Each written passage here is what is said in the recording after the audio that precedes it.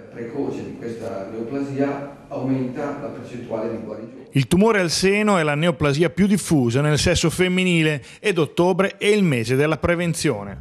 Per sensibilizzare le donne del territorio, l'unità operativa complessa di Marche Nord ha proposto nel comune di Fano una semplice ma efficace operazione di comunicazione visiva. Illuminare in rosa il colore dell'iniziativa due monumenti più rappresentativi della città. Detto fatto, sfida raccolta dal comune di Fano, la Fontana della Fortuna in piazza 20 settembre e l'Arco d'Augusto, ben visibile anche dalla nazionale, per tutto il mese di ottobre saranno di uno splendente rosa. La prevenzione è l'unica arma verso quello che è ancora il tumore più diffuso tra le donne, ma che anche se preso in tempo allo stadio iniziale ha un'elevatissima percentuale di guarigione, il 95,7%.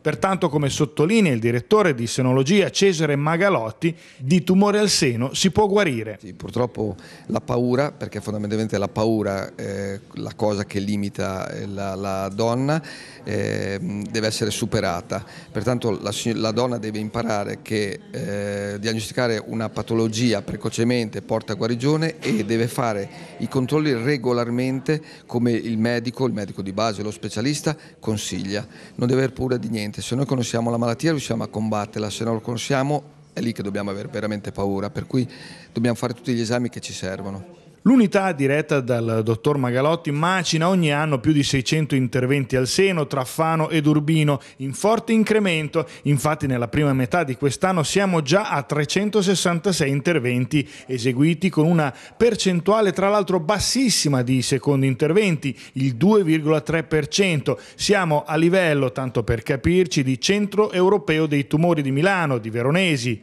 Questa unità operativa, fortemente voluta dalla Direzione Sanitaria di Marche Nord, diretta da uno dei più accreditati chirurghi italiani, il dottor Magalotti, ha invertito anche la tendenza con un tasso di mobilità attiva del 47% con pazienti che provengono da ogni parte d'Italia.